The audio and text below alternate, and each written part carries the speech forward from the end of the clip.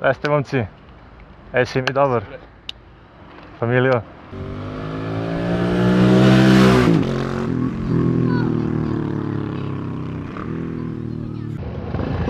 Ja ću poslednji.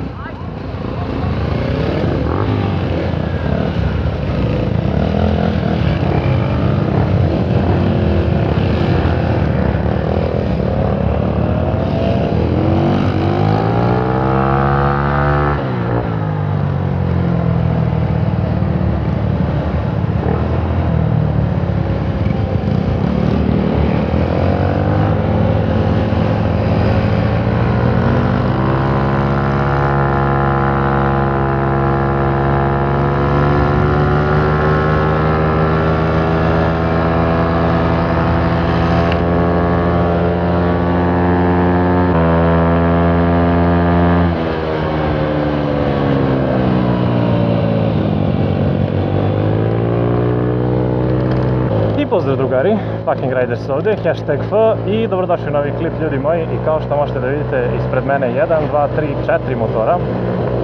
Dakle, danas radimo grupnu vožnju, idemo do Jastrivca, zvali su me da idem sa njima, odazvao sam se, rekao što da ne, Lazarević će naknadno da dođe,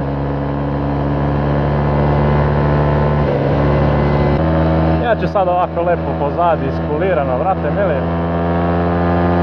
to kad se budemo vraćali od ozgo, bit će vrlo oslobođeno.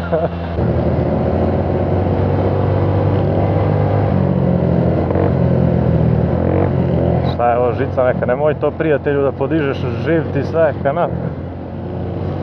Pa ajde eto, kad je već grupna vožnja, da kažem neke i neka moja iskustva kako se treba ponašati u grupnoj vožnji. Znači, kada ima poprilično dosta motora,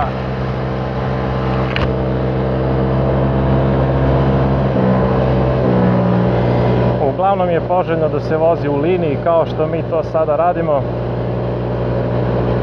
i da držite neko solidno rastojanje kako biste mogli da blagovremeno zakočite u nekim situacijama za ne daj Bože. Takođe, ovako čuvajte se preticanja drugih koji vas pretiču, jer i sami znate šta se desilo kada smo išli na motoskup u Trstenik. Lik je krenuo da pretiče i išao sam u kolu susret i ušao u makazice i seko me je ovako. Sreće pa sam ga vidio u ogledalu, da sam se sklonio malo na vreme, inače mogao da me izgura onako kvalitetno.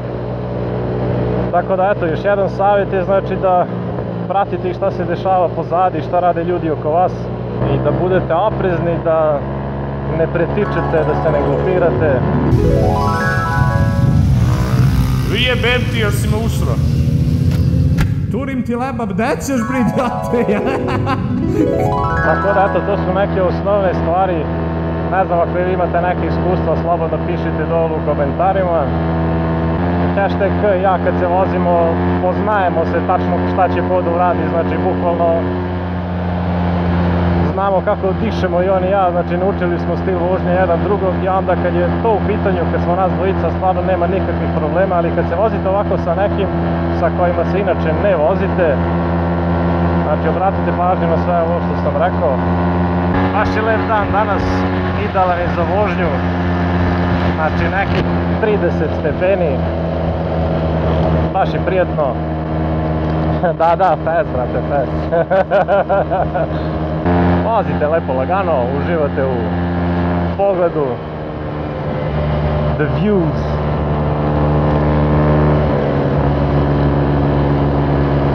Evo ovako inače da kažemo ko je sve u grupnoj vožnji.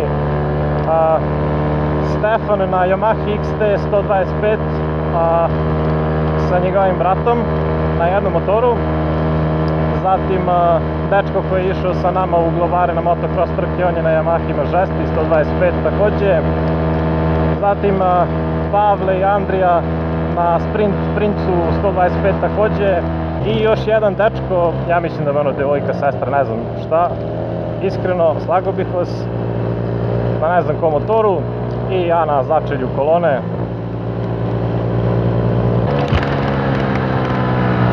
Malo polako, sine. Malo polako. A ne, ovo je Pavle sa, sa devojkom. Ja sam sve izbutao, drugari. Sve sam izbutao. Polako, bre, gde ste zapeli? Pa polako.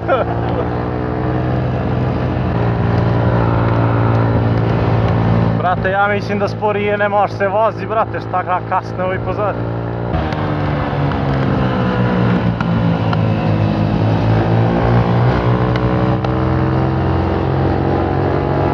Da ih se čekamo. Da ih se čekamo.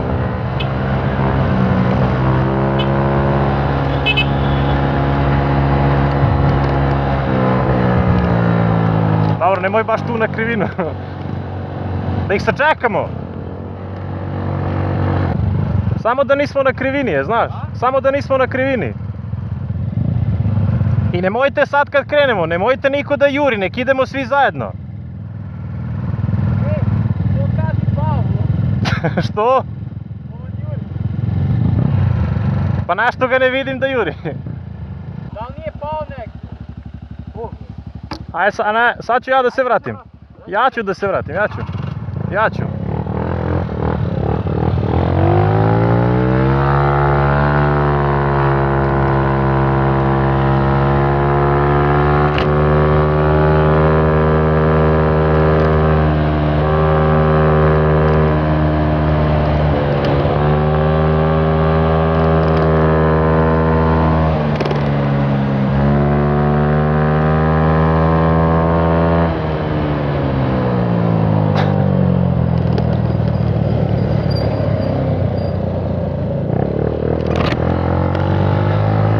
Ajde.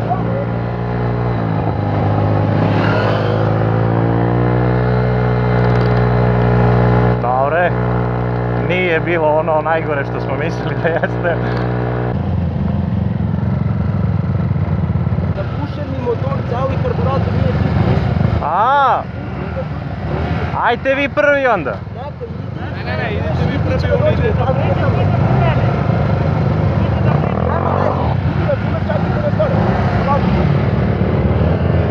A nije nego bez veze. Ako smo krenuli zajedno, jebi ga. Ništa, evo sad ću ja da predvodim ovako lepo. I onda ću ja da, da kažem idemo 30, brate, da bismo išli svi zajedno i prosta matematika. Nešto kaže da mu je zapušen karburator, filter, nisam ga baš najbolje razumeo. Nemojte pogrešno da me shvatite, ali kad idete tako negde, obavezno proverite motor i ako nešto nije u redu, nemojte da bez veze forsirate, da vas negde ne ostavi na, na putu. Čekaj, sad ćemo Jovan style, stani. Ako uspem da izvedem, čekaj, čekaj, čekaj. I pozdrav drugari, ovo je nova vrsta motovloga. A, snimate samog sebe i uključite mikrofon u kacigu. I onda ovako snimate Jovan style. Kako dobra krivina za nalek.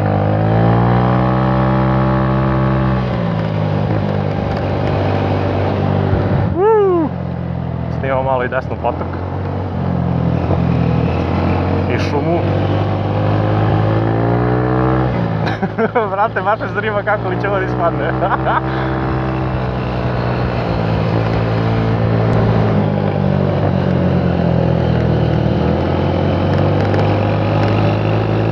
Ok, ajde da vratimo kameru na kacigu.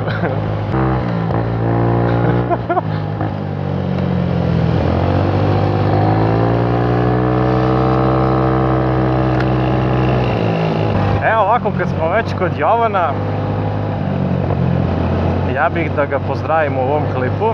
Vas pozovem da odete na njegov kanal da ga zapratite jer je trenutno na putu oko Evrope svojim kafe racerom, odlične vlogove pravi, znači radi daily vlog. I pored toga, hoću da kažem uh, par stvari o njemu.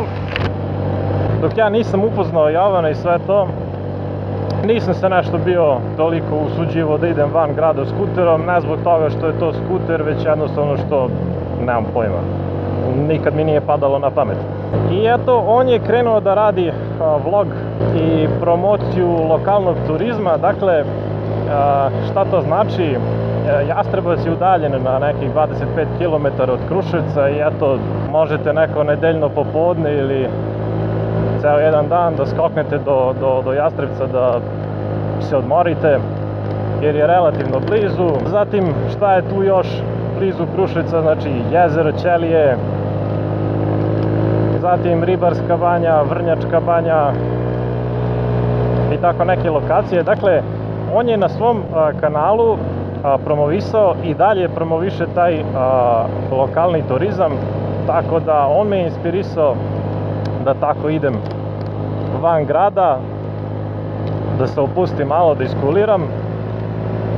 Tako da to i, i toplo vama preporučujem bez obzira gde god da, da živite. Siguran sam da u, u, u krugu od 30 do 50 km od vašeg mesta ima neko mesto gde možete da, da odete, da se sklonite, što bi se reklo, onako da iskulirate, bilo sami, bilo sa devojkom, bilo sa porodicom, znači kao što evo mi to radimo sada, grupna vožnja, znači otišli smo malo da se sklonimo van grada, videli ste put, bitno je druženje, zajebancija, tako da eto velika podrška za to što Jovan radi, za promociju lokalnog turizma i naravno velika podrška za ono što je do sad uradio na svom putu oko Evrope i podrška za dalje naravno. Pogledajte vi ovu prirodu. Potok, brale.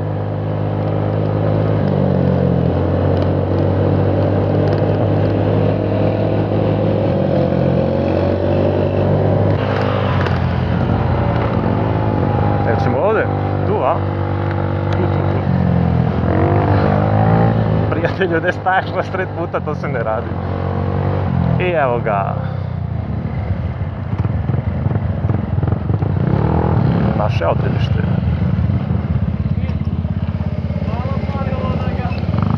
Pa što staješ na sred puta, bra?